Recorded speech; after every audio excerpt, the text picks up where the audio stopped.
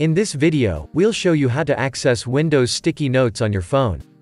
Before we proceed, make sure you subscribe to this channel and press the bell icon to get daily tech videos.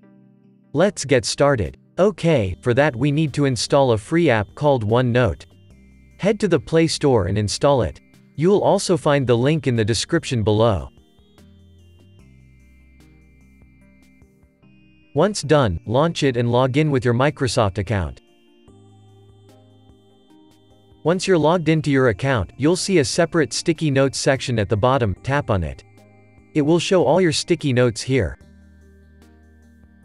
If you want to, you can also create a new sticky note here and change the color, format the notes using the default editing options, and more. That's it guys this is how you can access Windows sticky notes on your phone. If you like this video, give it a thumbs up and remember to subscribe I love free software TV, for more videos like this.